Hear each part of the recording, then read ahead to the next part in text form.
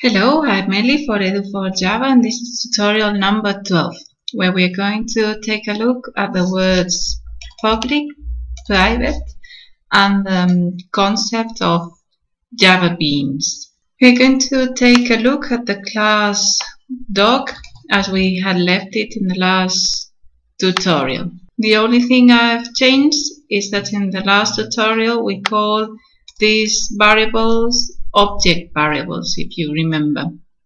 And now I'm calling them instance variables because they're best known with this name. These variables are um, stuck to the instance of the object, which is created from the dog class. As you can see, all these variables have the word public as well as the um, method. None of them are static. We have already said that both the variables and the method are stuck to the instance, not the class, and that in the main program we could get to the variables through this instruction here.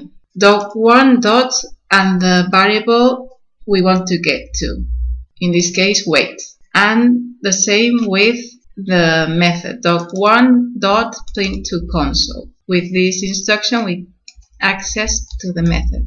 We call the method. In this case, we don't have parameters to send, so it, it's empty in between the parentheses. We always put these two brackets when we print the method. And in this case, it's going to be empty because we don't have parameters. Okay, what happens if here instead of public, we write the word private? This means that we can only get to this variable name from inside this class. If we save here and we go to tutorial 12, we see errors in the main program. We can see that I'm trying to get to the variable name directly and this is not possible from the moment I write here private. We can't get to it from the outside so we are not going to be able to get to that variable from another class, in this case tutorial 12.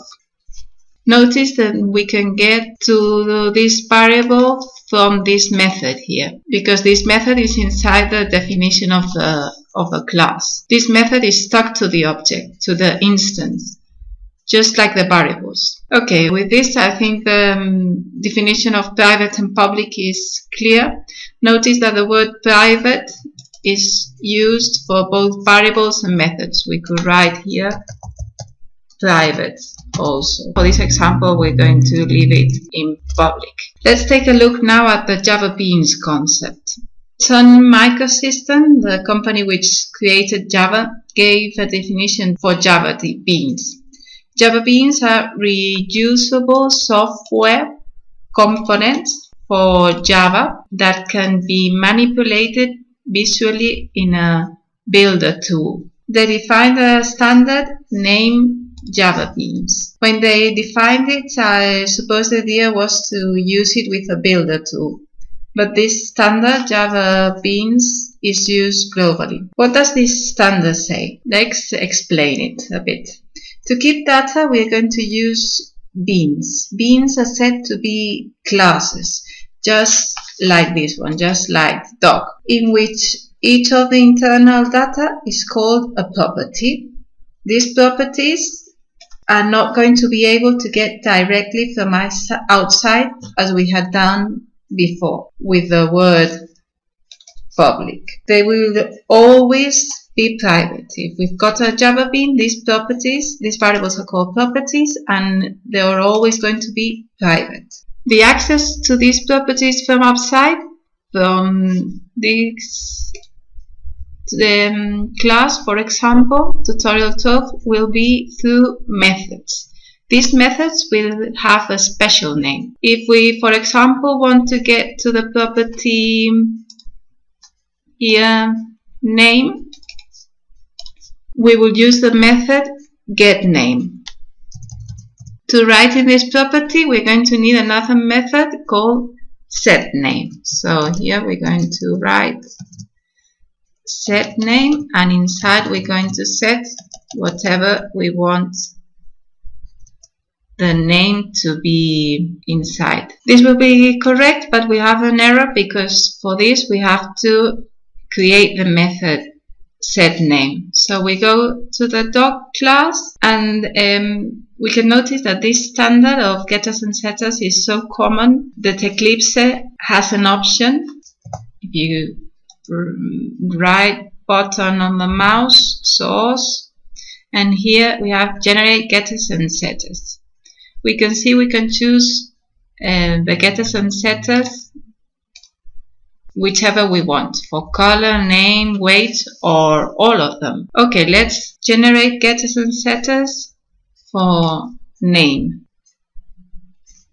Okay, as we can see, generates two methods, a get name and a set name. To read the, the name, we call the method get name and it returns a name which will be a string and to update the name we call the method setName, passing the name we want as a parameter. We now go to the method main of the class tutorial 12 and we can see that the error has disappeared. Okay, let's go back to the class dog and we're going to generate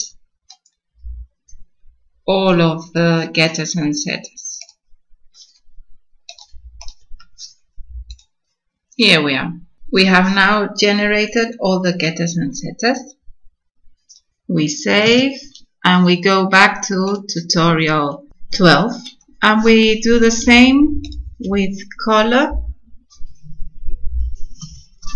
I'm going to copy it from the page so we are quicker.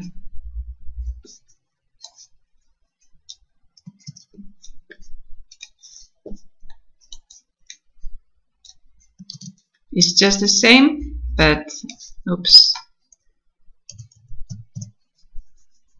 With all of them, set name, set color, set weight, and in Dog2, set name, set color, set weight, and each of the data we wanted to put inside. In the method, we can see there's um, error too.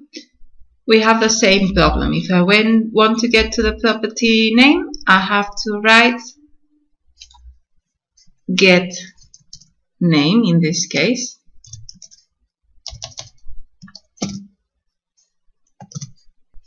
The same